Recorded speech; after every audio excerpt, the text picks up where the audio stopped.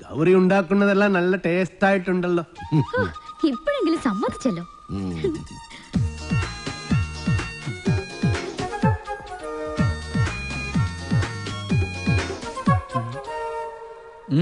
അല്ല നിന്റെ പട്ടി ബണ്ണില്ലേ? പട്ടിയോ? എനിക്കെവിടുന്ന പട്ടി? നിന്റെ പട്ടി ബരുവെന്ന് പറഞ്ഞല്ലേ നീ പോയത്. അല്ല പോയാ നാളത്തെ ചെക്കാരും കൊടുക്കും? അതിനല്ലട സാമി സാമിക്ക് ഓഡിറ്ററെ കാണാൻ പോണ്ടേ? ചെക്ക് കൊടുത്തു പോയാ പോരെ. അല്ല തോട്ടത്തിലെ വിളവെടുപ്പ് പണക്കല്ലേ അതിന് പണിക്കാരുണ്ടല്ലോ ഭക്ഷണം കഴിക്കുമ്പോ ഒന്നും മിണ്ടായിരിക്കും? പോട്ടമല്ലയ്യ ഒന്നും പറയണ്ട. അച്ഛനെ വീൽ ചെയറിന് എന്തെങ്കിലും കംപ്ലൈന്റ് ഉണ്ടെങ്കിൽ പറയണേ. വാറണ്ടി ഉള്ളതാ. ആ ഇവിടെ ഒരു ഗ്ലാസ് വെക്കാനുള്ള സെറ്റപ്പ് ഉണ്ടായിരുന്നെങ്കിൽ ഓക്കെ. നീ വന്നത് ഏതായാലും നന്നായി. നിന്നോടൊരു കാര്യം പറയാനിരിക്കുകയായിരുന്നു. ചന്ദ്രമോഹൻ മീനാക്ഷിക്ക് ഒരു ആലോചന കൊണ്ടുവന്നിട്ടുണ്ട്. അയ്യേ ഫുൾ ടൈം കള്ളു കുടിച്ച് കിടക്കുന്ന അയാളോ? ദേ അയാൾ കൊണ്ടുവരുന്ന ആളും കള്ളുടിയനായിരിക്കും. നമുക്കതൊന്നും വേണ്ട. ചെറുക്കനാവക ദുസ്വഭാവങ്ങളൊന്നുമില്ല. അഥവാ ഉണ്ടെങ്കിലും എനിക്കതൊരു പ്രശ്നമല്ല. സെറിക്കനുടെ ചുറ്റുപാട് കാര്യങ്ങളെല്ലാം വളരെ നന്നായിട്ടുണ്ട്. മീനാക്ഷി സെറിക്കനെ വളരെ ഇഷ്ടപ്പെട്ടു. ഞങ്ങളത് ഉറപ്പിച്ചു. ഇനി മേലെ നീ മീനാസി ആവശ്യമില്ലാതെ സെല്ല് ചെയ്യരുത് കേട്ടോ.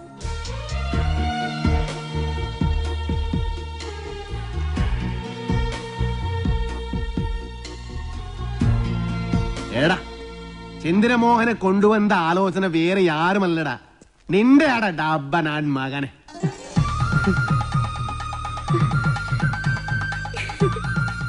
അല്ലെങ്കിലും ഈ ചന്ദ്രമോഹൻ ആൾ നല്ലവനാ. പക്ഷേ ഒരു കാര്യം ഗൗരിയുടെ കല്യാണം കഴിഞ്ഞ് ഇത് നടക്കൂ. മതി രണ്ടും ഒരുമിച്ച് നടത്താലോ? ദേ അവിടുത്തെ സംസാരമൊക്കെ കേട്ടല്ലോ.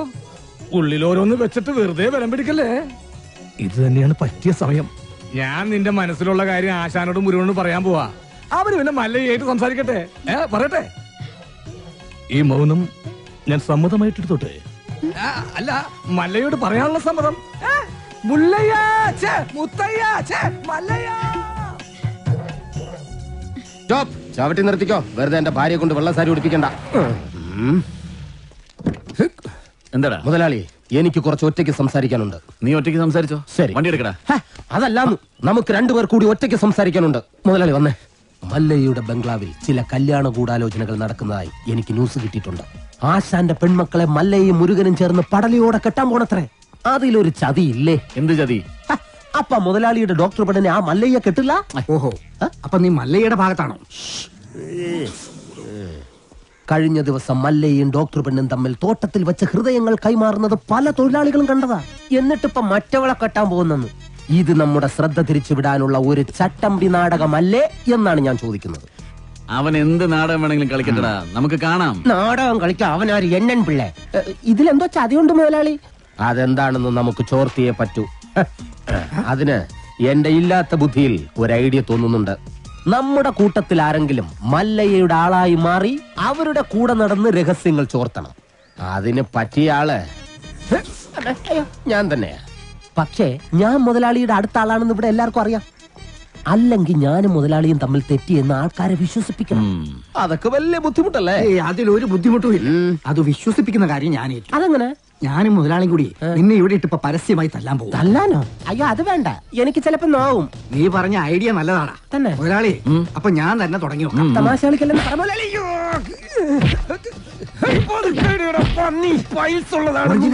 വിശ്വസിക്കില്ല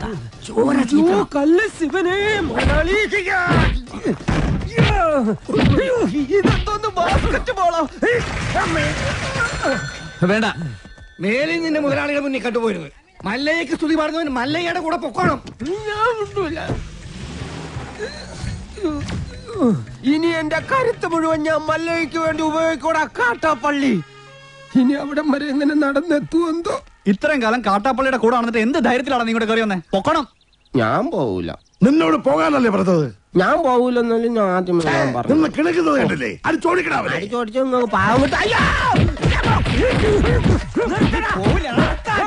ഗുണ്ടെ തല്ലുന്നതിനൊക്കെ ഒരു അതിരുണ്ട്. ഇതല്ല പഞ്ചായത്ത് പട്ടികൾക്ക് എല്ലാം കഷണം കിട്ടിയമാതിരി ഒരുമിച്ചല്ലേ കടിച്ചു പറിക്കണത്? നാണമില്ലടാ നിനക്കൊക്കെ. ധൈര്യം ഉണ്ടെങ്കിൽ ഒറ്റയ്ക്ക് ഒറ്റയ്ക്ക് വാടാ. ഒറ്റയ്ക്ക് വന്നാ? എനിക്ക് അത്രയും കുറച്ചടി ഉണ്ടാ മതിയല്ലോ. മല്ലയാ ഞാൻ പോകണേ എല്ലാരും കൈവച്ചല്ലോ ഇനി ആർക്കും പരാതിയില്ലല്ലോ. ഇതൊരു കാര്യം മറ്റേടത്ത് ഐഡിയ ആയി പോയി അവിടുന്നും കിട്ടി ഇവിടുന്നും കിട്ടി. ഇനി മരിച്ചാൽ ഐഡിയ പറയില്ലേ? അവൻ ആ നാഗേന്ദ്രൻ പറഞ്ഞു വിട്ടതായിരിക്കും. നമ്മ രഹസ്യങ്ങൾ സോർത്താൻ. ചില സമയത്ത് സെത്തിയേക്കാൾ വലുതാണ് ബുദ്ധി ഞാൻ പറഞ്ഞിട്ടില്ലേ? കട്ട്കൊണ്ട ആട്ടാടോണ. ഇന്നിനി വയ്യ. നാളെ വന്നും ബാക്കി വാങ്ങിച്ചോളാം. ഇങ്ങ് വാ പറയട്ടെ. എന്നെ തല്ലാനല്ലെന്ന് സത്യം ചെയ്താൽ ഞാൻ വരാം. ശിവനെ കൊണ്ടാണേട് നീ മര്യാദയ്ക്ക് ഇവിടെ നിക്കുമോ അയ്യോ ഞാൻ മര്യാദയ്ക്ക് നിക്കുന്നേ. പക്ഷെ അടി കൊണ്ട് ഇങ്ങനെ ആയിപ്പോയതാ സത്യം. ആ കാട്ടുപുളിയെ ശരിയാക്കാൻ ഞങ്ങൾ പലതും ആലോചിക്കും അതൊന്നും ആരും അറിയാൻ പാടില്ല. ആരും അറിയില്ല മല്ലയ്യ ആശാനെ എന്താടാ? കണിയാന്റെ അടുത്ത് മുഹൂർത്തം നോക്കാൻ ചെന്നപ്പോ അയാൾ പറയുന്നു ഉടനെ എങ്ങും പറ്റിയ മുഹൂർത്തമില്ലെന്ന്.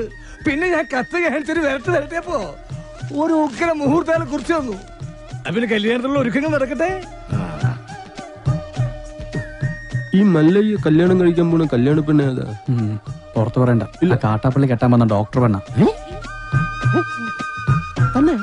മുതലാളി നിക്ക് ആ ഡോക്ടർ പെണ്ണിനെ മല്ലയ്യ കെട്ടാൻ പോകുന്നു. കള്ളം പറയരുത്. ശിവനാണ് സത്യം എന്നോട് പറഞ്ഞതാണ്. മല്ലയ്യ ആ നാഗേന്ദ്രൻ കല്യാണം അടുത്ത മാസമാണെന്നൊക്കെ പറഞ്ഞത് വെറുതെ ആയിരുന്നു. ദേ ഇപ്പൊ എന്നെ ബലമായി പിടിച്ചോണ്ട് പോയി താലി കെട്ടാൻ പോവാ. വാതിൽ തുറക്കടി. പതിനൊന്ന് മണിക്കാ മുഹൂർത്തം. അണിഞ്ഞൊരുങ്ങി വേഗം വന്നില്ലെങ്കിൽ ഉടുത്ത തുണിയാലെ എടുത്തോണ്ട് പോകുന്നില്ല ഞാൻ. വാതിൽ തുറക്കാൻ. രശ്മി നീ നേരു ഭയപ്പെടಬೇಡ ഒരുങ്ങി ഇറങ്ങിക്കോളൂ. അവൻ നിന്റെ കളത്തിൽ താലി കെട്ടില്ല. ധൈര്യമാക്കിരോ സാറി.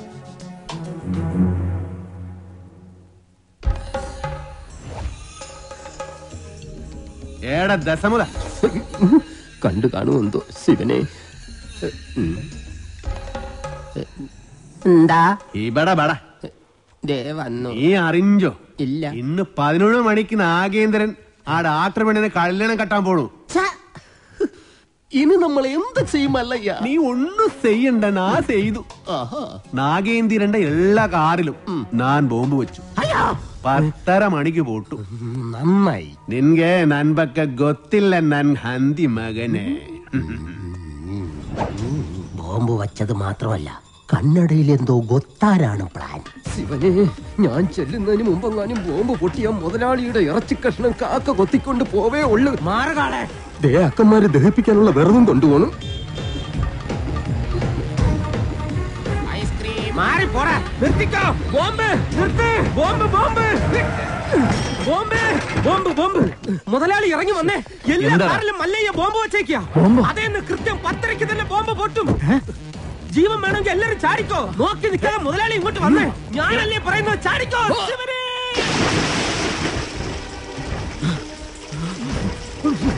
തലയിലേക്ക് ചാടല്ലടാ. ഇപ്പൊ പുട്ടു മുതലാളി വെയിറ്റ് ചെയ്യും. ചാടാൻ വേണ്ടി പല്ലയ്യാൻ വരുന്നുണ്ട്. വേഗം ഹർക്കോ